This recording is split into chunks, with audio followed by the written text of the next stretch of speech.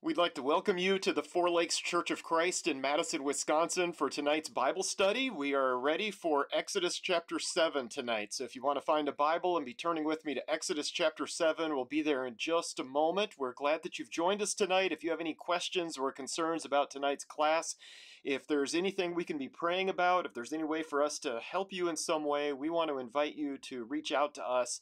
Uh, send me an email at info at fourlakeschurch.org. You can visit the website, find the contact information on there, fourlakeschurch.org. You can send a text or make a phone call to 608 224 0274. We'd love to hear from you in that way as well. You can find us on social media by searching for Four Lakes Church. And we also want to invite you to subscribe to the YouTube channel if you have not yet done that and turn on notifications so you could be uh, reminded or notified whenever we go live or add something to that channel. But tonight we are back to the book of Exodus. So God's people are enslaved in Egypt, but God has chosen Moses as a prophet to lead his people to freedom. Uh, Moses is extremely reluctant, to say the least. We went through five or six of those challenges or excuses that Moses had for not following God's plan. Uh, but finally, Moses gets on board. He's ultimately willing to serve in that way. And so he returns to Egypt at the age of 80 years old. And he appears before Pharaoh, the king of Egypt, and it does not go well from the very beginning. In fact, not only does Pharaoh refuse to let the people go, but he actually makes life even more difficult by forcing them not only to make the bricks as they were doing previously, but now he forces them to go get the straw for those bricks as well. And the text tells us that they have to travel throughout the land of Egypt to do that. So it is an absolutely massive project, and they are overburdened with the labor involved in that, and there is no relief in sight. Well, in last week's study of Exodus chapter 6, God has Moses remind the people that he has seen their suffering. He knows what they're going through, and he's planning on bringing them out and giving them the land that he had promised to their forefathers. However, uh, the people are so discouraged by the circumstances that they refuse to listen. Uh, it's there's too much. We have to deal with this whole brick thing, and we just can't be thinking about getting released at this point. And so now Moses is the man in the middle, isn't he? On one hand, uh, God has given him this impossible mission, which he never really wanted. And then on the other hand, the people that he's been sent to rescue really do not want to be rescued. And so Moses is uh, stuck right there in the middle. So that brings us to Exodus chapter 7. So Exodus chapter 7 tonight, let's jump back into it tonight with Exodus chapter 7, verses 1 through 7. Exodus chapter 7, verses 1 through 7. Then the Lord said to Moses, See, I make you as God to Pharaoh, and your brother Aaron shall be your prophet. You shall speak all that I command you, and your brother Aaron shall speak to Pharaoh that he let the sons of Israel go out of his land. But I will harden Pharaoh's heart, that I may multiply my signs and my wonders in the land of Egypt. When Pharaoh does not listen to you, then I will lay my hand on Egypt and bring out my hosts, my people, the sons of Israel, from the land of Egypt by great judgments. The Egyptians shall know that I am the Lord when I stretch out my hand on Egypt and bring out the sons of Israel from their midst. So Moses and Aaron did it, as the Lord commanded them, thus they did. Moses was 80 years old and Aaron 83 when they spoke to Pharaoh. Well, knowing that this is a tense situation all around, to say the least, God communicates to Moses yet again and he gives him some reassur- uh, reassurance. And so he gives this kind of overview as to what's about to happen because God can see what's coming. And so he lets Moses in on this. And here Moses is obviously pretty nervous. He's been commanded to go back to one of the most powerful leaders in world history. And as I just mentioned by way of review a few moments ago, it did not go well the first time. In fact, it made life even worse for God's people. And so God explains uh, that he'll make Moses as God to Pharaoh. And I'm thinking that that would probably be pretty encouraging. God is saying that he would make Moses appear almost as deity in Pharaoh's eyes, not literally deity, but he would make them uh, have that kind of authority over the king. And so Moses then is given power over the most powerful man in the world at this point. And to head off any more objections, notice God reminds Moses that he's been given Aaron as a prophet if you remember, Moses didn't think of himself as a good public speaker, And so a few chapters ago, God gave him um, Aaron as a spokesperson. And here Aaron is described as Moses' prophet. So in this picture, in this analogy, if Moses is God, then Aaron is Moses' prophet. And so Aaron then will take on some of that burden of speaking to Pharaoh, actually uh, getting the words out there. So this isn't just on Moses. He's not in this all alone, but Moses will have some help with this. And that's comforting uh, to be given this huge responsibility, but also to know that you'll be working together with somebody. And especially, I think, if that somebody is your own brother. So there is some familiarity there. And I think at verse 3, this might have been the first reference to God hardening Pharaoh's heart, if I remember that correctly. There are a number of references like that scattered throughout these chapters here. Uh, but previously, if I remember correctly, God said that Pharaoh would harden his own heart. Uh, but now we have one of several references to God doing the hardening of Pharaoh's heart. Not quite at this moment, but he says that this will happen in the future. So there's no contradiction here. This isn't a matter of God uh, overriding Pharaoh's personal autonomy. Uh, one of the commentaries made the uh, suggestion or painted the picture of God sticking his finger in Pharaoh's brain and stirring it around a little bit, kind of uh, mixing it up and forcing him to do something that he was unwilling to do. Uh, that is not what's going on here. There is no contradiction here. Uh, God is not making this decision for him, uh, but instead, Pharaoh makes the decision that he's not going to obey God. He's not going to do what God wants him to do. He's not going to let the people go no matter what. So, this is a decision that he has already made at this point. And my understanding of this is that God will simply make it more obvious and God will uh, press it to the point where something actually happens. Uh, a few weeks ago, we compared it to a, a husband and wife.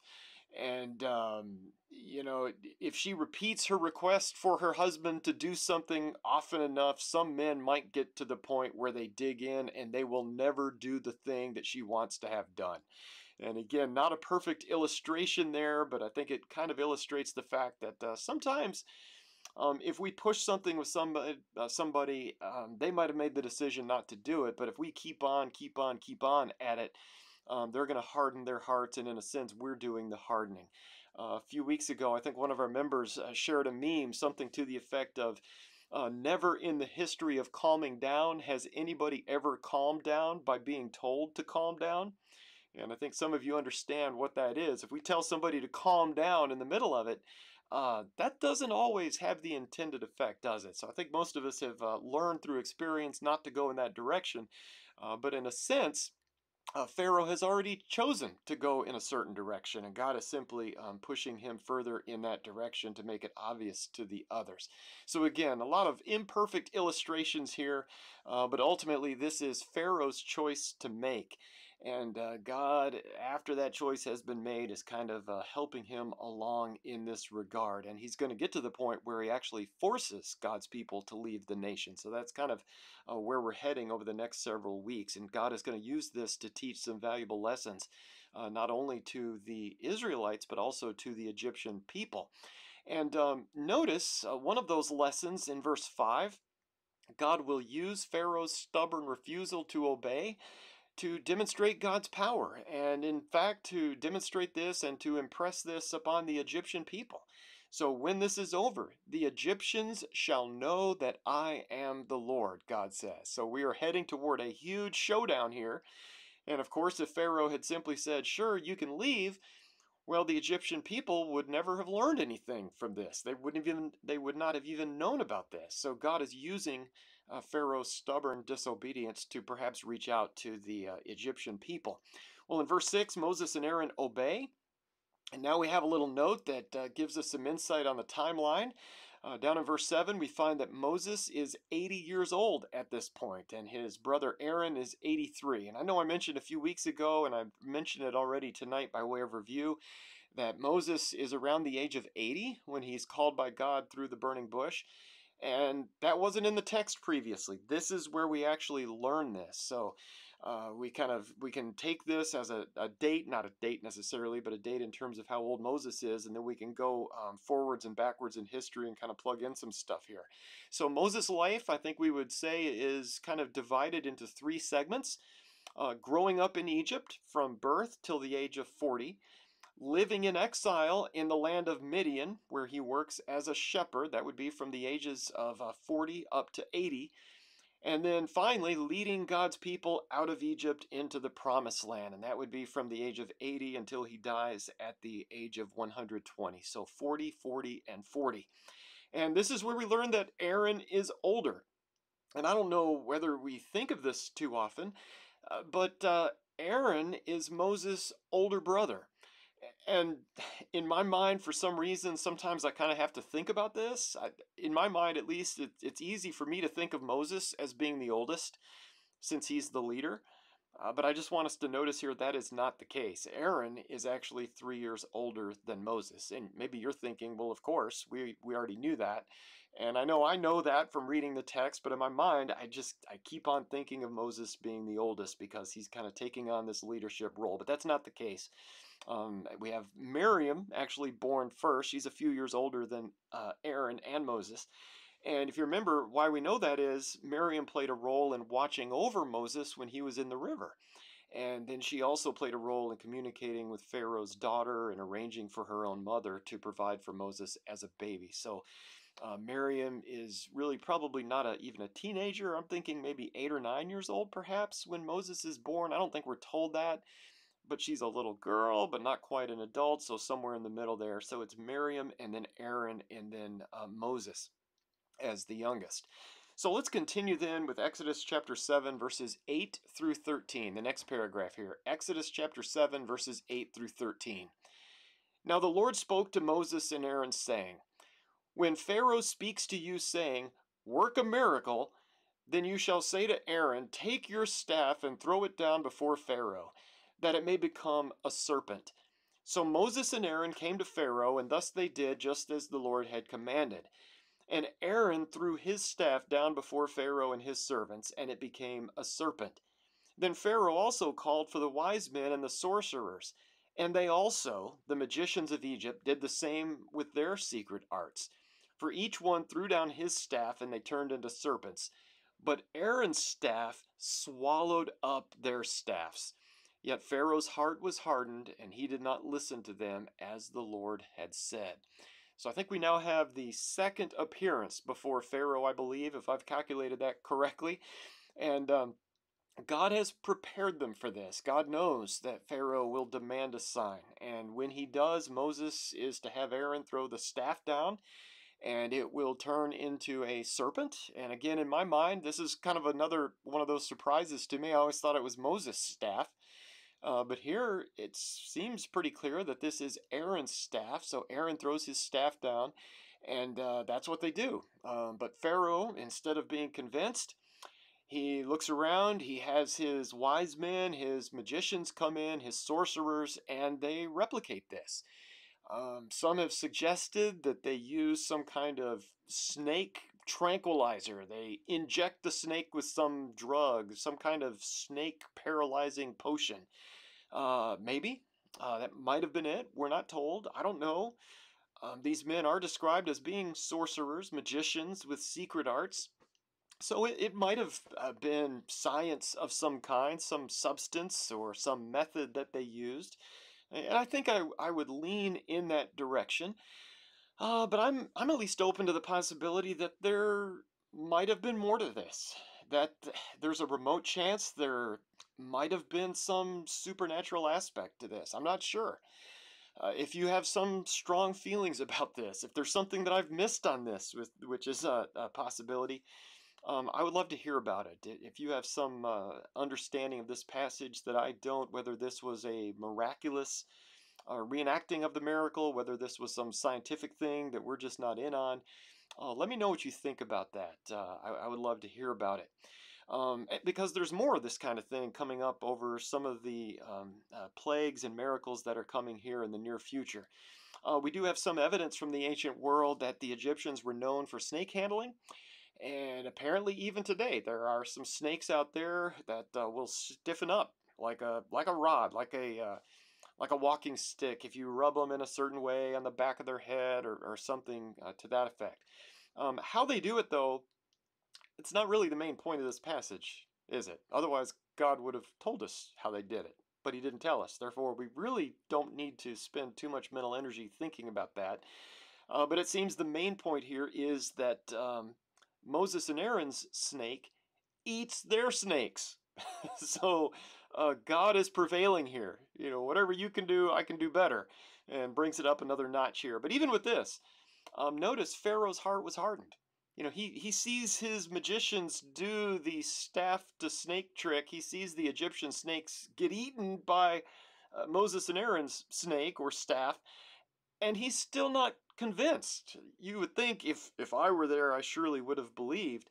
Um, but Pharaoh is not convinced. Remember, his heart is in the process of being hardened. So he knows what he wants. He knows what he's not going to do. No matter what, I'm not going to let the people go. And I'm not going to listen to what Moses and Aaron have to say, just as the Lord had predicted. So he sees this amazing thing take place right there in front of his eyes, and he kind of doesn't care. He's not convinced by it. And notice in the New American Standard Bible, at least, it says that Pharaoh's heart was hardened. It doesn't say that he hardened his own heart, doesn't say that God hardened his heart, but his heart was simply hardened. He's not yielding to God's command to let the people go. And God will use him even against his will. God will be glorified with or without us. And um, it's much better um, that God uses us with our permission. I think that'd be a safe thing to say here. So get on board. It's much better to be on God's side than it is to be out there on our own working against God. Because God is going to accomplish what he's going to accomplish with or without us. I'm kind of thinking of that passage in Second Thessalonians 2, where Paul describes somebody whose coming is in accordance with the activity of Satan, with all power and signs and false wonders, with all the deception of wickedness for those who perish, because they did not receive the love of the truth so as to be saved. For this reason, God will send upon them a deluding influence so that they will believe what is false, in order that they all may be judged who did not believe the truth, but took pleasure in wickedness. So that's Second Thessalonians chapter 2, if you want to look into that a little bit more. So that's another difficult passage. I look at that God, yes, sent a deluding influence, but only because the people had already decided to reject the truth. That deluding influence will simply make it more obvious so that others don't get sucked into that way of thinking. It's just uh, getting further and further out there. Um, by the way, let's not forget that God has already used the staff to snake miracle, hasn't he? Wasn't it back at the burning bush? God used that as a way of convincing Moses, and basically you'll see this again, and here it is. And uh, of course, that convinced Moses back then. Sometimes the same message or the same sign, it may convince one person, while somebody else who hears or sees the exact same thing may be completely unconvinced, may be completely unmoved by it. And I think we see that today the gospel message is preached, some people say, wow, that's what I need to do. And other people will say, that's the most stupid thing I've ever heard. A bunch of superstitious weirdos, and they'll turn away from it. And so sometimes the gospel will convince some people and it will only turn others further away from the truth. That's not the gospel's fault. That's up to us to accept it or reject it. And I think that's pretty much what we see here. Moses ultimately obeys, but Pharaoh does not. And uh, remember, both of them, both Moses and Pharaoh, saw the same sign. Uh, Moses had a soft heart, and Pharaoh did not. So let's continue tonight with Exodus chapter 7, verses 14 through 20. Exodus 7, 14 through 20. Then the Lord said to Moses, Pharaoh's heart is stubborn. He refuses to let the people go. Go to Pharaoh in the morning as he is going out to the water, and station yourself to meet him on the bank of the Nile. And you shall take in your hand the staff that was turned into a serpent. You shall say to him, The Lord, the God of the Hebrews, sent me to you, saying, Let my people go, that they may serve me in the wilderness. But behold, you have not listened until now. Thus says the Lord, By this you shall know that I am the Lord. Behold, I will strike the water that is in the Nile with the staff that is in my hand, and it will be turned to blood. The fish that are in the Nile will die, and the Nile will become foul, and the Egyptians will find difficulty in drinking water from the Nile. Then the Lord said to Moses, Say to Aaron, Take your staff and stretch out your hand over the waters of Egypt, over their rivers, over their streams, and over their pools, and over all their reservoirs of water, that they may become blood and there will be blood throughout all the land of Egypt, both in vessels of wood and in vessels of stone. Well, I hope we caught God's assessment up there in verse 14, where he says that Pharaoh's heart is stubborn. So, this, of course, puts it squarely on Pharaoh. God is not causing Pharaoh not to listen, God is not overriding miraculously Pharaoh's freedom of choice. This is on Pharaoh, this is not on God. And so God's going to try something else. Not that it'll change Pharaoh's mind necessarily, but there are other missions to accomplish here, as we alluded to earlier. So the next sign will involve something new, something unique. And it won't happen in the palace, won't happen in the throne room exclusively. But Moses is to catch Pharaoh somewhere kind of off guard. So he's, he's to meet Pharaoh uh, out on the bank of the Nile River as Pharaoh is heading out to the water. So there's some speculation. Why is this? This is a regular thing, one time thing. It seems to be a regular occurrence. Maybe he's going out to bathe. Uh, maybe he's going out to worship. Remember, they worship the god of the Nile and hundreds, if not thousands, of other gods. So it could have been worship, could have been to get drinking water, uh, could have been to bathe, could have been to supervise some project. We're not told. But Moses, when he meets Pharaoh by the Nile, is to repeat this demand to let God's people go and then he is to use the staff to strike the Nile River, he and Aaron. And the water in the Nile will be turned into blood, causing the fish to die and these other things that are supposed to happen. Well, we need to think about the importance of the Nile River to the land of Egypt. Um, Egypt is the Nile, isn't it? I mean, they depended on the Nile River for everything for transport, uh, for commerce, for their crops to grow um, for drinking water, for bathing, all of that. I think most of us learned about this when we were little, didn't we? I mean, like fifth or sixth grade, middle school, at least high school, probably already knew it by then, but the importance of the Nile River to the nation of Egypt. Um, the, the Nile would flood every year, replenishing the land, the silt would spread out, and the nutrients would come in, making crops possible in, in what was just an incredibly dry land. Um, Egypt, of course, even today, basically desert, isn't it? But the Nile River brought life to the nation. I mean, they had a god associated with the Nile River. All of their cities were up and down the Nile River. And if you were to take out a map and just look at a map, Egypt is the Nile River. I mean, where there is no Nile, there is no Egypt. They are tied together. And so Moses and Aaron then are to go big, aren't they? Right here at the beginning and they are to attack the lifeblood of the nation, so to speak. They are to do it by using the staff that had been turned into a serpent and back again. And the point of doing this in verse 17 is so that Pharaoh and the people of Egypt would know that God is the Lord, that He is Yahweh. And this would affect, notice, not just the Nile River itself, but it would affect the streams and the pools and all of their other reservoirs. Everything would turn to blood. There would be blood everywhere uh, including water that was held in vessels of wood and vessels of stone.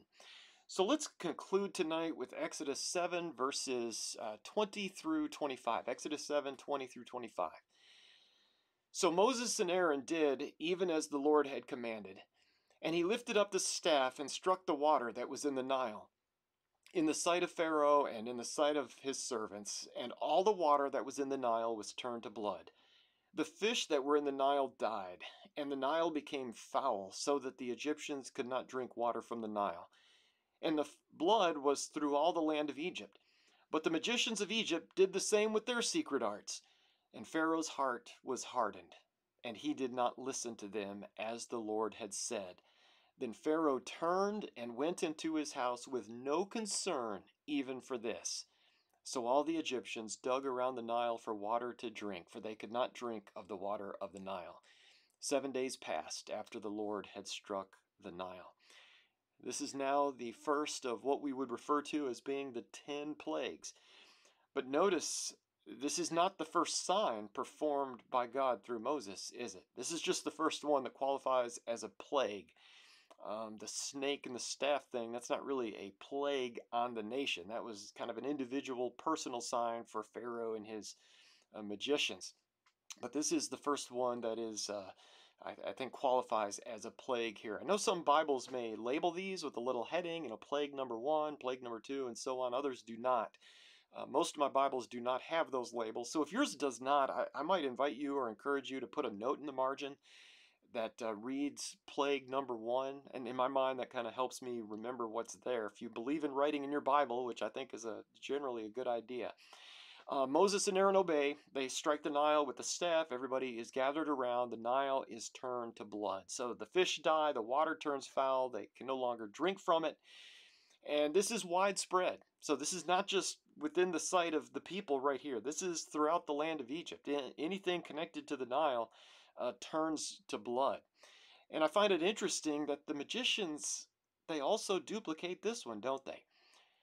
But I'm kind of wondering, how do they duplicate it if all the water is now blood? So I'm kind of thinking what they did obviously was on a much smaller scale. Uh, somebody whips out a bowl of water, something like that. Uh, later on in here, we learn that they were digging by the Nile to find water to drink, so perhaps the water that was under the ground had not been turned to blood. So maybe they dig up some fresh water, they find it, and they do something that causes it to turn to blood or at least to look like blood. Um, and again, going back to that previous discussion, whether what they did was some scientific trick or whether there was some supernatural, beyond nature kind of power going on, we are not really told. But the bottom line is Pharaoh is now unimpressed by what Moses and Aaron have done. His heart is hardened, and he just goes back to the palace with no concern for this. The nation has no water. Can you imagine that? Imagine right now that every source of water around us is undrinkable. That is a huge crisis, but notice what Pharaoh does. He goes home. He doesn't care. His heart is completely unmoved by this. So it's a huge crisis. Pharaoh is not thinking clearly. He's hardening his heart. He's making this decision not to do what God wants him to do. So he's stubborn. And this goes on for seven days. I mean, any smart person would have called Moses in and say, hey, how can we resolve this thing?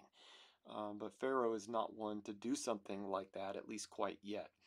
So this brings us to where we hope to pick up next week. Next week, we plan on moving into Exodus 8 with the second of the 10 plagues. Uh, as we close tonight, I want to make sure we don't miss something. I might have referred to it in passing a few times tonight, but the plagues of Egypt are really attacking the so called gods of Egypt. And you can't see this in my notes. I have gods with a little g in quotes. So, so called gods. These plagues are designed to plague the gods of Egypt. And uh, I say this based on a brief statement over in Exodus chapter 12. If you want to look into this more, it's Exodus chapter 12, verse 12.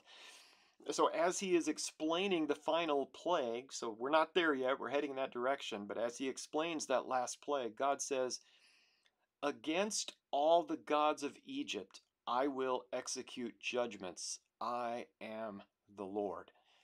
And so I want us to notice there, we'll get back to this in a few weeks, but the plagues of Egypt were not primarily against the Egyptian people.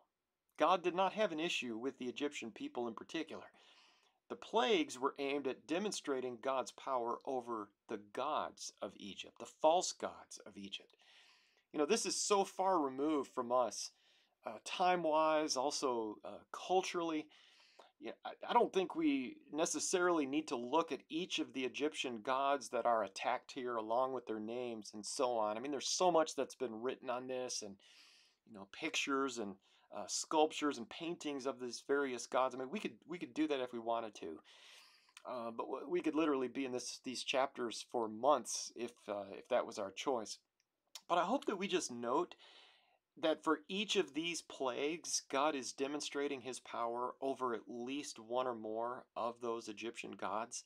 Um, the snake god, the god of the Nile, and so on. Do you remember some of the um, like face coverings on the coffins? I, am sure I'm not getting the name of all of that right, but I think most of us have seen kind of uh, the carvings uh, on top of those coffins from ancient Egypt. Have you seen those with the the snake kind of coming out of a, the forehead like a like a cobra ready to strike. You know, Pharaoh himself was considered to be a god by many people. And the snake was a huge part of that, kind of representative of that. Well, this whole thing with the staff and the snake, that was a direct assault on that idea. And the same would go for the Nile River, the god of the Nile providing life and and so on. That, that was a direct assault on that God, showing that the one true God has power over all of those other gods. Well, in terms of our schedule, uh, next week is what we traditionally refer to as being cardio night. Uh, the night we would normally move the boxes of clothing upstairs for the clothing giveaway to get ready to more quickly uh, deploy those on Saturday. And that's coming up. Uh, the clothing giveaway is a week and a half from tonight, which makes cardio night next Wednesday evening. Um, so we haven't discussed this. I'm assuming we may be meeting in person uh, at the church building next Wednesday evening. Um, we may do class live like we would on a Sunday morning. We may just watch the video together like we did last year, and then, you know, we could sing and pray together for a little bit there. I'm not sure exactly what we'll do a week from tonight. Uh, some of that depends on the tech part of it and who's available to help with all that. But uh, we hope to announce that on Sunday. So I guess I'm saying stay tuned for next Wednesday evening. We should be here on YouTube, uh, but as for in person, we might be able to meet together at the building uh, next Wednesday to uh, help get that stuff upstairs so we can serve the community uh, in a better way.